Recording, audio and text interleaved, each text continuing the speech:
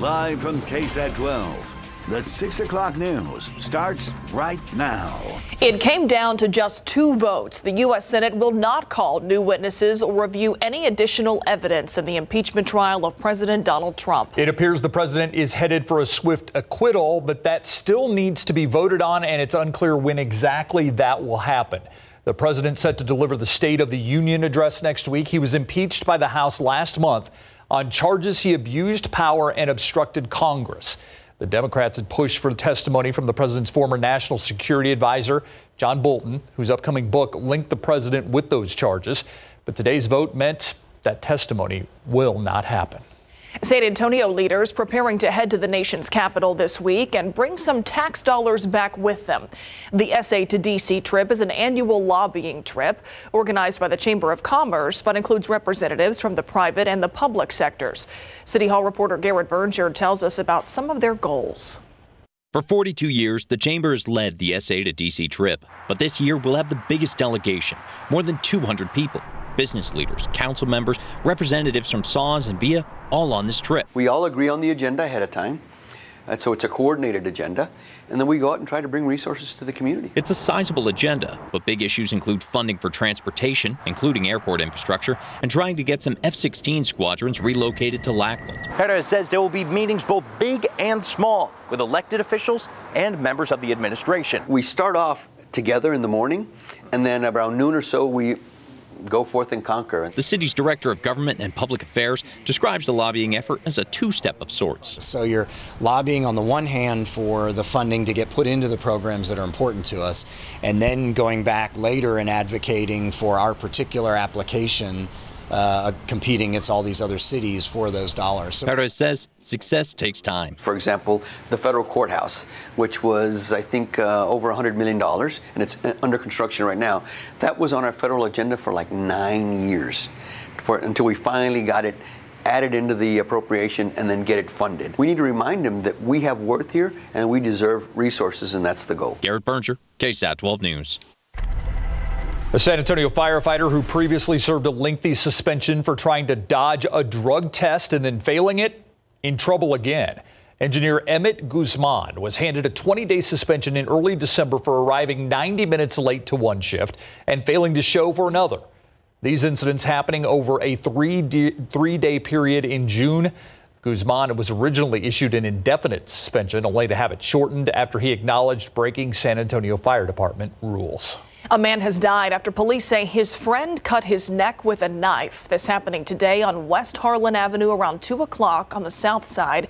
Police believe an argument between the 31 year old suspect and 44 year old victim led up to this attack. The victim's sister told police that she was there and did not see the cutting, but saw her brother on the ground bleeding. The victim was taken to a hospital where he later died. The suspect has not been arrested.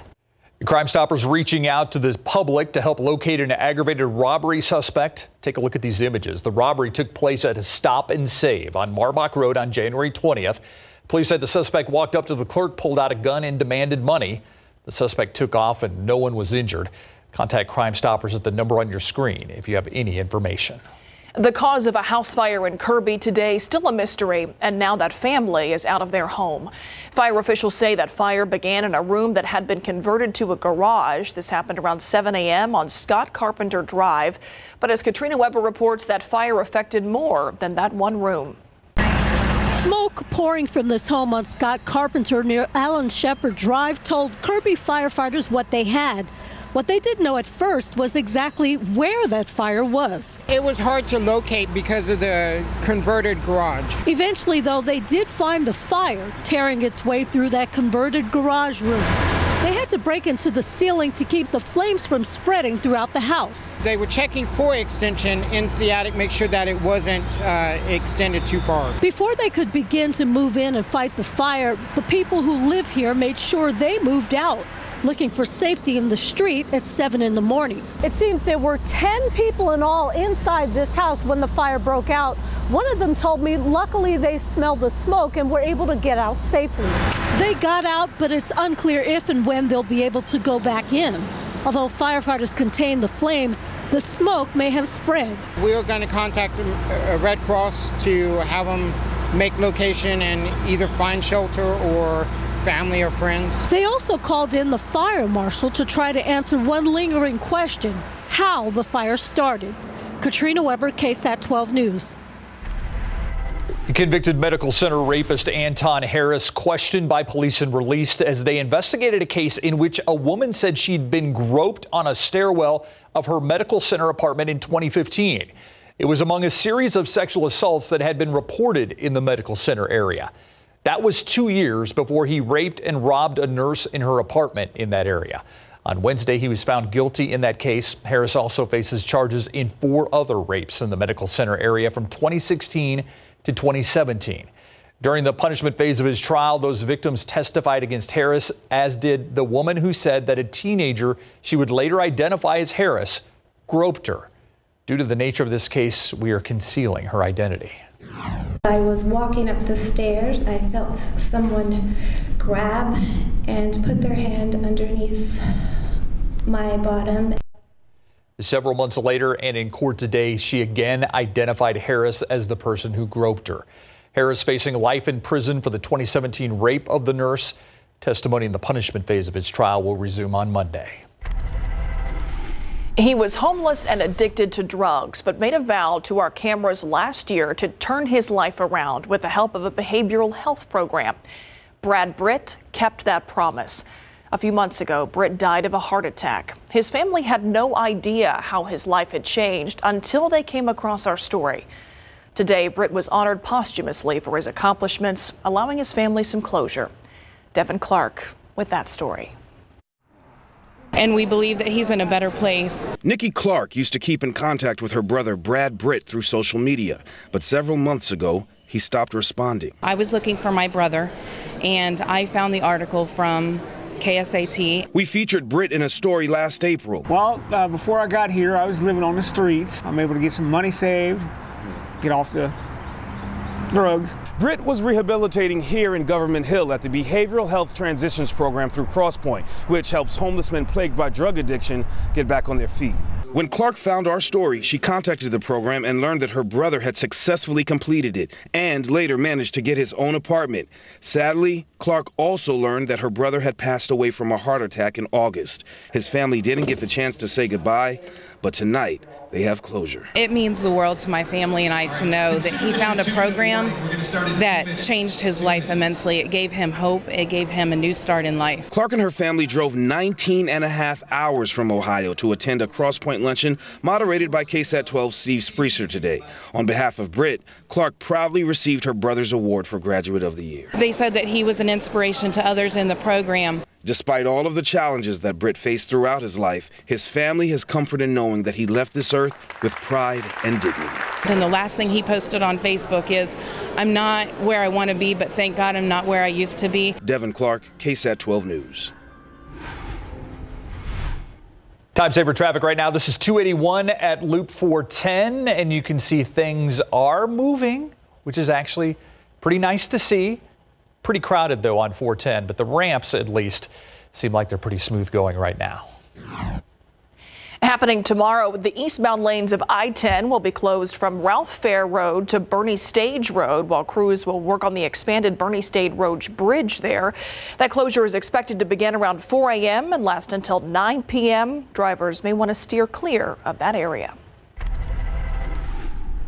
And as we look at live cam right now, this turned out to be a pretty nice day. Mm-hmm. I, I had my doubts. Yeah, start it started today. off gray, but then that sun showed up. That's fair. Yeah, the, the, clouds were pretty thick this morning, but they quickly scattered out. And we saw a great day. We saw a lot of sun this afternoon. The aquifer is holding steady at 673. And the pollen count, we got some good news here, too. Mold's in the low category. Mountain cedar is also low. We're nearing the end of mountain cedar season. Let's hope it stays low uh, for several more days. We have some more sun in the forecast this weekend, some rain chances next week. We're going to talk about it coming up in just a bit. Steve?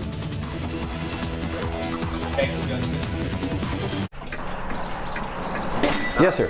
Yeah, and I was wondering how much you charge to fix that. The shop came about uh, basically from a need. I was initially going to make it a workshop and storage uh, area for myself. A lot of these clocks I collected back in the early 80s. That's when I started working on them about when I was 26 years old. You buy old stuff, you have to repair the old stuff. So that's where I learned my trade at. I repair the heirloom clocks. It was either the mothers or fathers, grandfathers, grandparents, great grandparents. We get people coming in from Corpus Christi, um, Del Rio, Austin, Dallas, Fort Worth, uh, all over the place. I get all types of clocks in, and some I've never seen before. Some of the movements are just outrageously uh, intricate. There's just a variety of different movements out there. I'm working on uh, literally over two dozen clocks right now. It's a slow process at, at, times. It really is. Parts are few and far between sometimes. I have to actually go on auction sites like eBay to find parts for some of these old antique clocks. I've been here uh, going on 10 years now, coming June of this year. The reward is is the expression on the people's faces and the thanks that I get from actually repairing a uh, clock that was in the family for, for years. Great clocks. By the way, that is the Castroville Clock and Watch Shop. It's been doing business with people all across South Texas for 10 years. Photojournalist Robert Samaron, part of our Storyteller series. Those are beautiful. Well, they are eager for votes in Iowa, but some Democratic candidates are in Washington because of the impeachment trial, the latest ahead of the Iowa caucuses coming up. And next at 6, if you want to have the right look for the upcoming rodeo, Stay tuned. We're going to introduce you to a local vendor who has one stop shop for all things jewelry.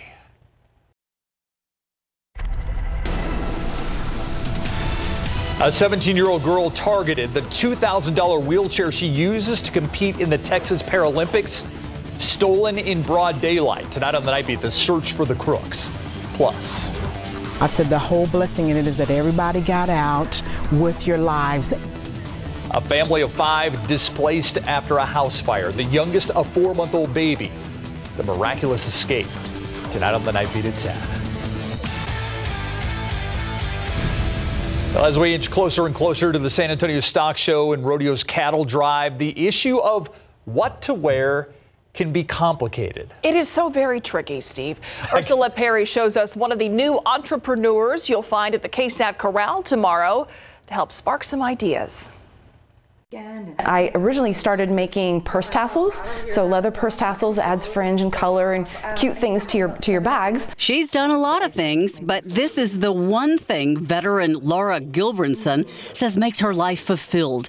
She's the chestnut cowgirl whose personal style led from one thing to another thing till her kitchen table looked like this. I make uh, hat bands now. Leather, fox fur, rabbit, turquoise, silver, coral beading. It's a creative storm that that'll be assembled for sale at the San Antonio Rodeo Cattle Drive. Laura's passel of precious cowboy pretties will be on display at the KSAT Corral. In particular, hat accessories, which are super on trend these days. Sold out. So I'm making some more for this weekend. This empty nester mom is hitting festivals and shows with custom made items, but also selling online at Etsy and Instagram too. This is not a quick production line. She works alone, and each item takes between 45 45 minutes to an hour. Each piece is a creation. It's made by hand by me. And just one year into this business, she is catching the cowboy boho wave of fashion just right. It's a global market right now, not just a Texas thing. I've shipped all over the world. I've had orders from Japan, uh, Tel Aviv, Israel, oh gosh, Ireland. The Chestnut Cowgirl's items on average run between $45 and $100, but some of her high-end leather goods run as high as $300. You can catch her and a number of other vendors tomorrow at the KSAT Corral from 9 to 1 at the Pavilion at the Hilton. Ursula Perry, KSAT 12 News. And the KSAT Corral Hoedown is part of the 13th annual Western Heritage Parade in Cattle Drive.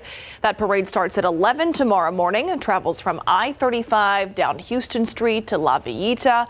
But a cool place to catch it all is at the KSAT Corral, which will open from 9 a.m and close at 1 p.m. You can still get your tickets.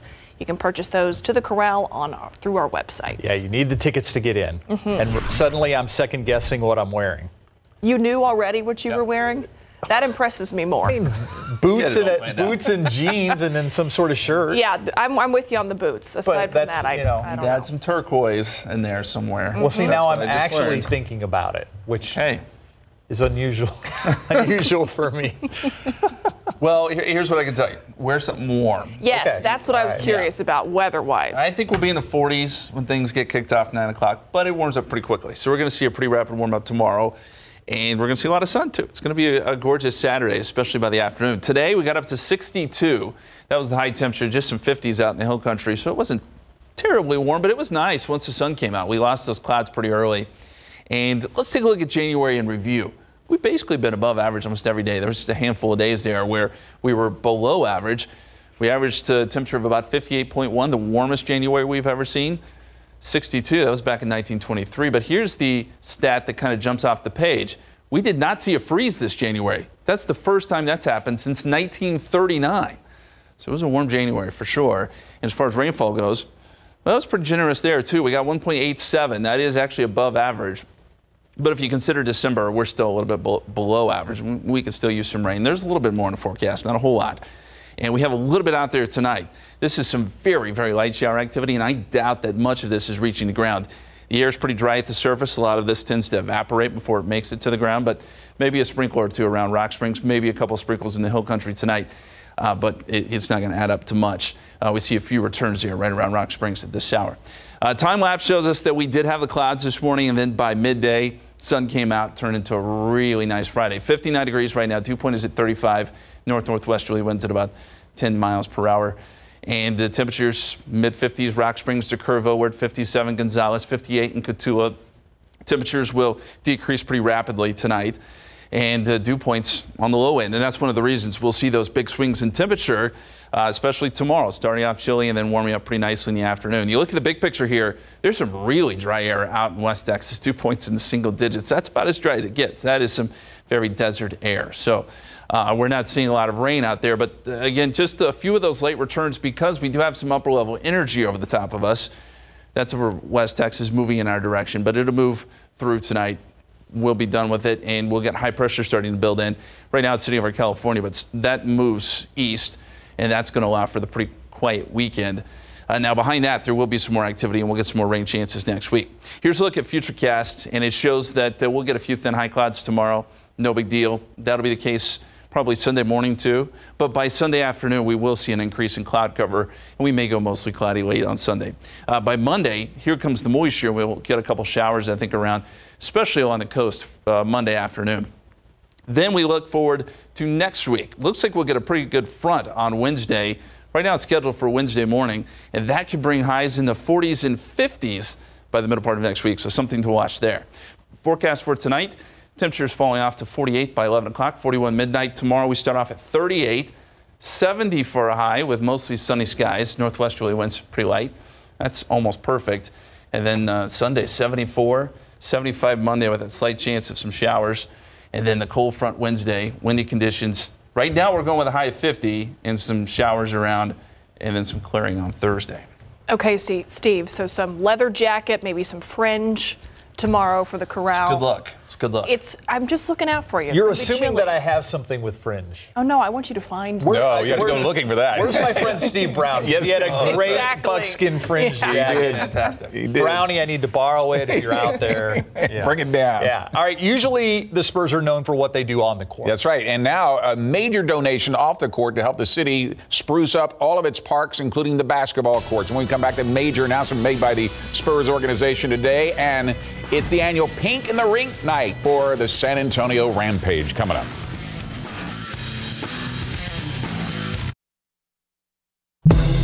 San Antonio Spurs are donating $1 million to help the city improve its parks. It's a four year commitment to renovate parks and community basketball courts across the city. On hand for today's announcement was Peter John Holt, who's taken over the Spurs Sports and Entertainment Chairmanship, CEO R.C. Buford, along with Spurs star Lamarcus Aldridge and Mayor Ron Nirenberg, who participated groundbreaking ceremony at Woodard Park. Lamarcus contributed an extra $100,000 of his own money to support the project.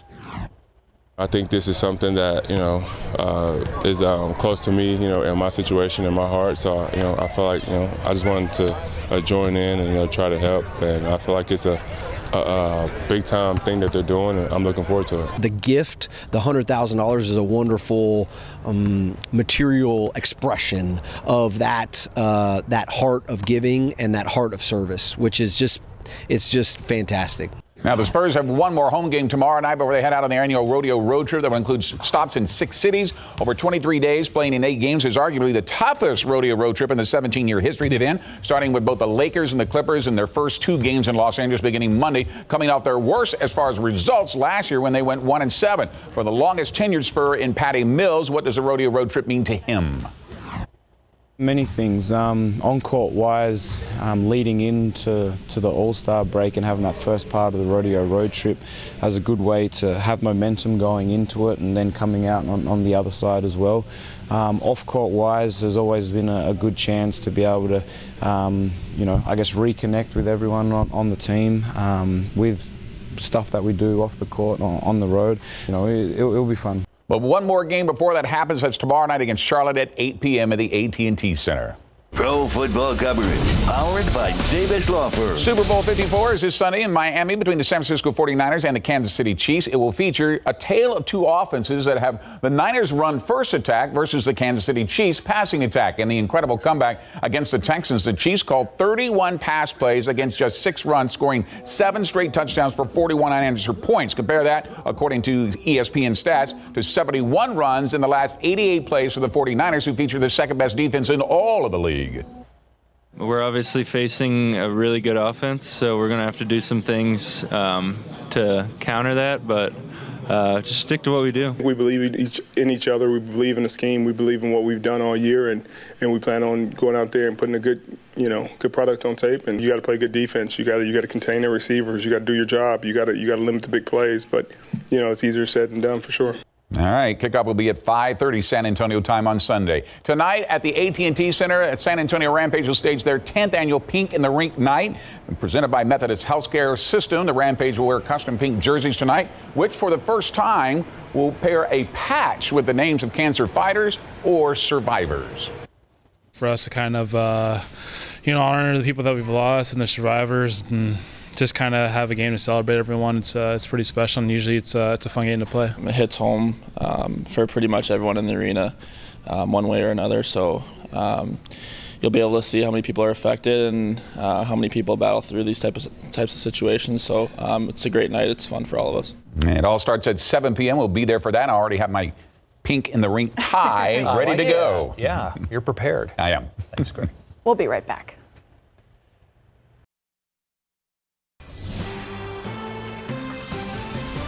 The Iowa caucus now just three days away. Voters will weigh in on their pick for the 2020 Democratic presidential nomination for the first time. Here's the latest from the campaign trail in Des Moines. The countdown is on to the first voting contest of the 2020 presidential race. Every Iowan is worth a thousand Californians. Candidates crisscrossing Iowa and launching new ads. And Elizabeth Warren is doing something great for America. Ahead of Monday's much anticipated caucuses and it's a key test of the appeal of the candidates, their organizing strength, their financial strength, the appeal that they have. It is a true battleground, a testing ground for these candidates. A new Wall Street Journal NBC poll well. showing former Vice President Joe Biden and Senator Bernie Sanders neck and neck, leading the Democrats in Iowa. I think it's going to be really close.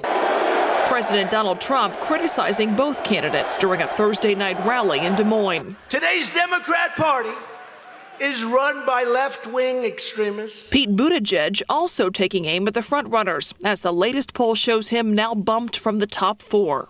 I've seen Vice President Biden making the case that we cannot afford to take a risk on somebody new right now. I believe at a time like this, the risk we cannot afford to take is to turn to the same Washington mindset that has brought us to this point. And in these critical last days before the caucuses, the three senators running still in Washington for the impeachment trial, trying to make their appeal to Iowans from afar. I'm here. I'm hoping that the people see it as a plus, and I'm going to do my job. Meantime, the field of candidates has narrowed once again, with John Delaney dropping out of the race. Charges are pending for three teenagers that brought a BB gun to a high school in El Paso, sparking a lockdown there.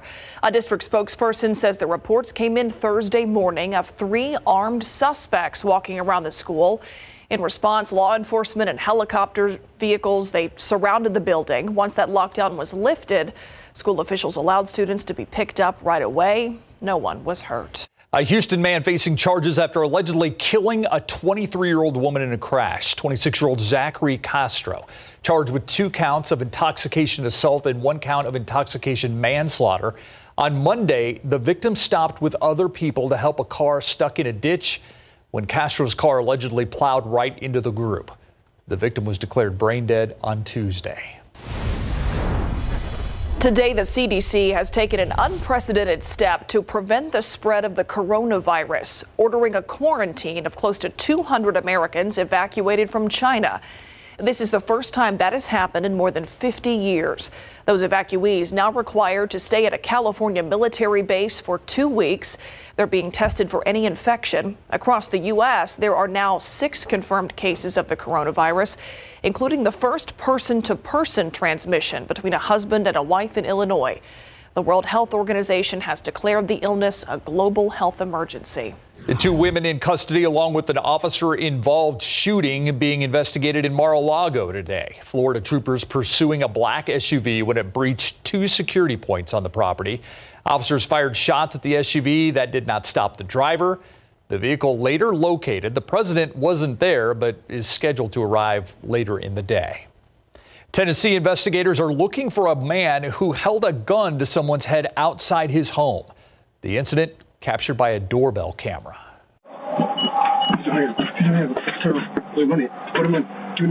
There's a lot happening in this roughly 15 second incident in Nashville, Tennessee. But notice the quake in the victim's voice.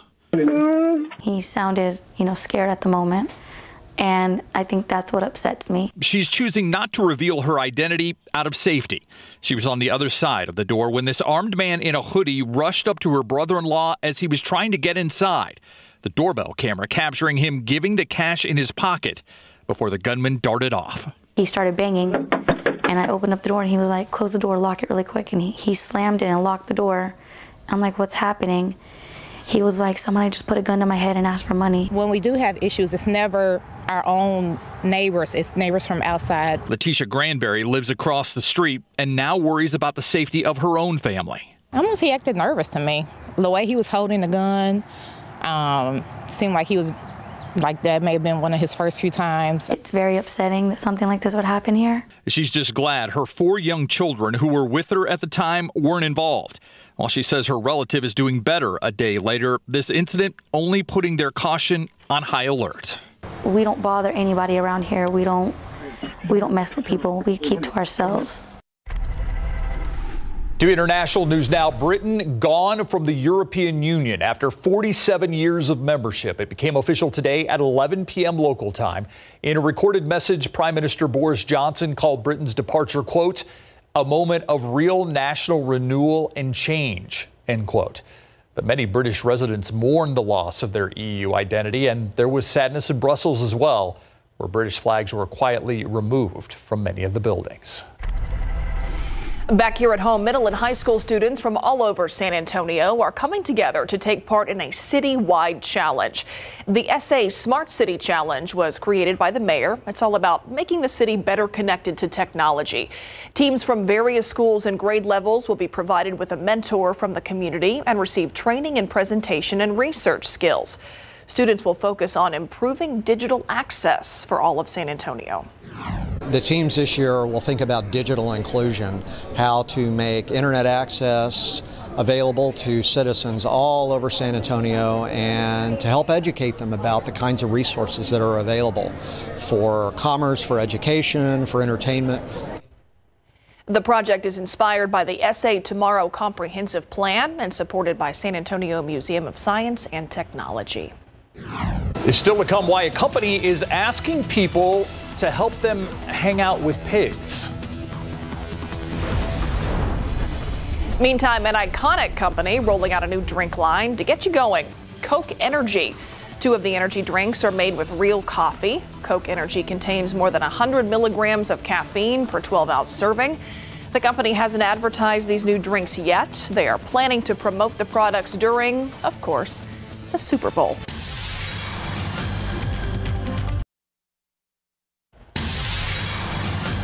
Part of the show where we talk about the KSAT news at 9, the 9 beat, the online at 9, whatever you want to call it. We prefer the KSAT News at 9. But we're going to talk about voter registration because the last day to register to vote is March 3rd.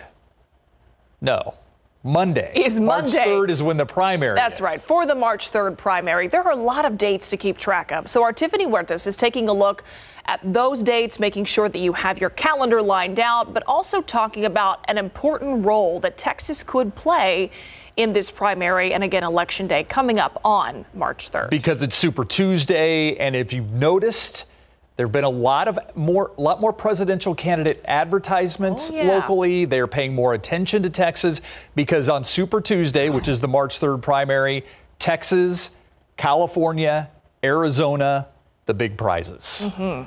Now, as we mentioned, a lot to keep track of in 2020 when it comes to elections. So we have a KSAT News at 9 Vote 2020 newsletter that rolls out every single week. And it's all about helping you keep track of the latest information, helping you understand some of the background, the key aspects of a lot of important races. You can sign up for that by going to ksat.com slash newsletters. And Steve and I contribute to Yeah, we had every our week. two cents. By the way, I compared the Iowa caucus to a political potluck.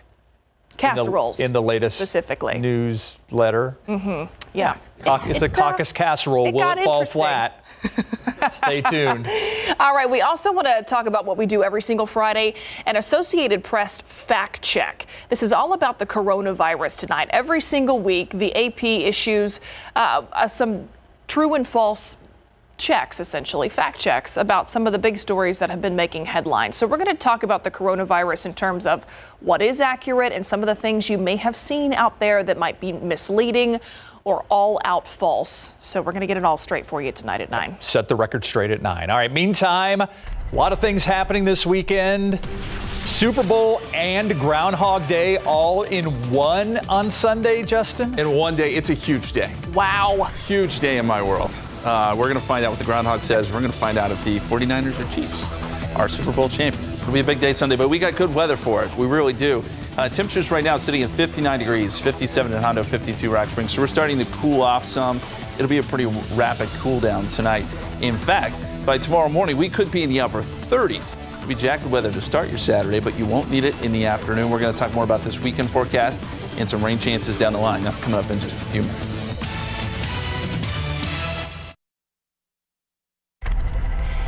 In the buzz today, want to pal around with a pig? A South Carolina animal sanctuary is looking for volunteers to help socialize roughly 100 rescued pigs that are preparing for life as adopted pets.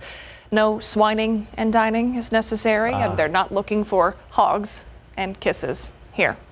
Just some nice belly rubs and quality time to get the pigs used to domesticated life. Yeah, so if you're ready and swilling, better act fast because people are already hogging the time slots. Sorry, those puns make me.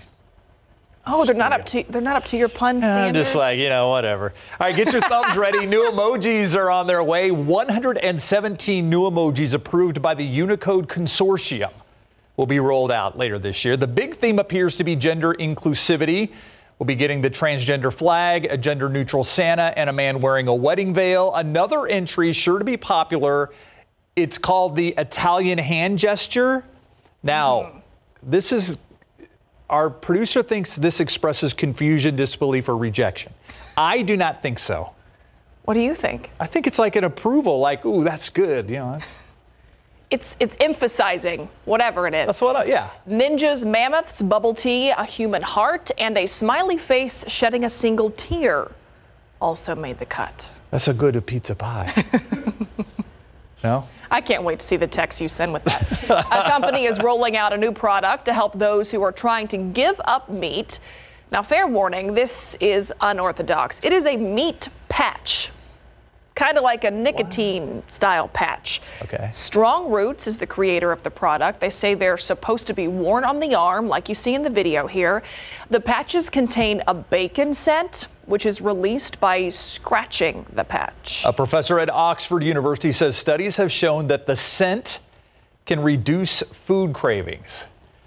So Huh. just the aroma of bacon can reportedly leave you satisfied. That has never been my experience. Yeah, I would disagree with that. Yeah, makes you want bacon.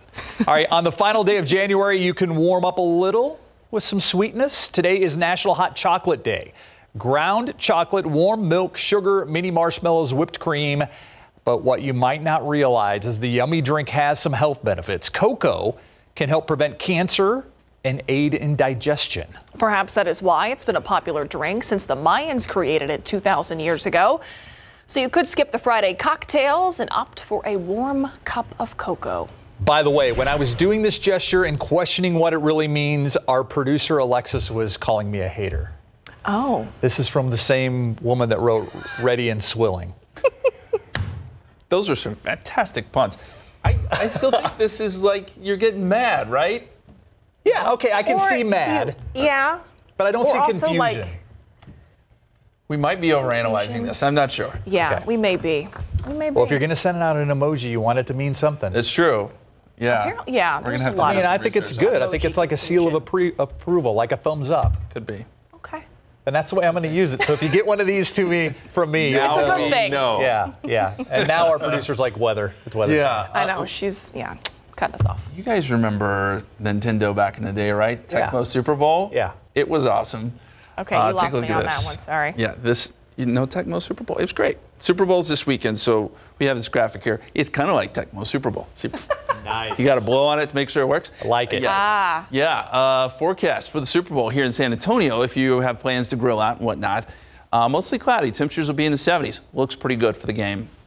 Very nice.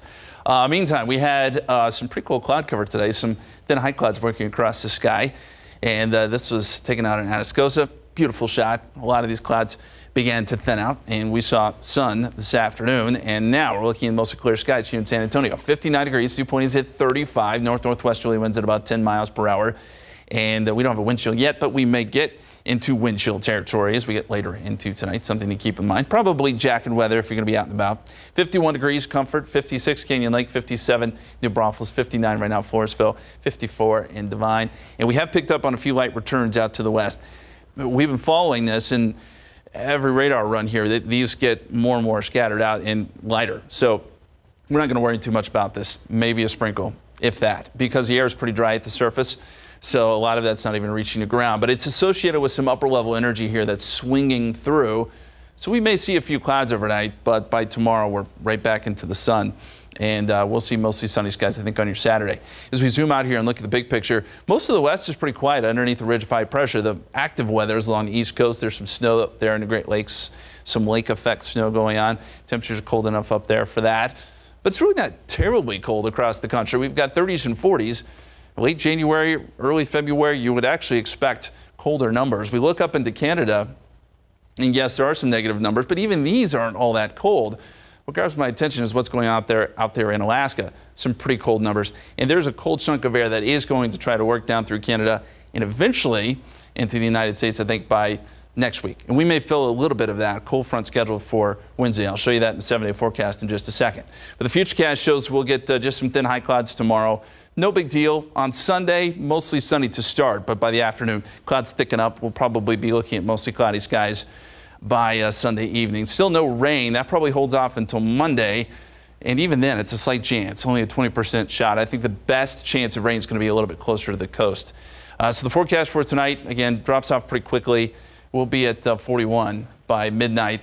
And then uh, tomorrow, we'll start off at 38. So it's chilly tomorrow morning. 55, 10 o'clock, 63 noontime, and then up to 70 for high. That is a gorgeous Saturday. Winds will be light too.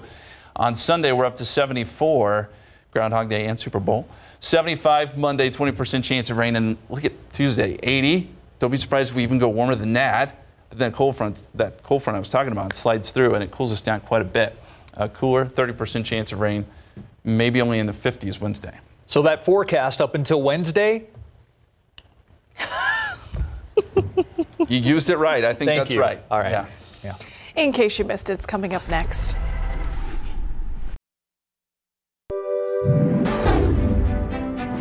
It It is Friday, January 31st. It was a surprise that it was happening in our neighborhood. Bexar County Sheriff's Office arrested a man this morning who is accused of walking around a north side neighborhood naked. 34 year old Gilbert Ramos is charged with indecent exposure again, the sheriff's office says. Online jail records show this is not the first time he has exposed himself.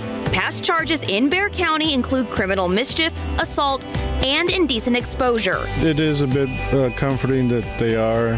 They did pick. They did, I guess, catch the individual. Um, but it, you never want to let your guard down. A woman is in the hospital after a wrong-way driver crashed into into her on the northwest side. Police say it happened just before one this morning. This was on Loop 1604 overpass above Babcock Road. They say a driver in a pickup truck crashed head on into the woman driving a sedan. She was pinned inside of her car.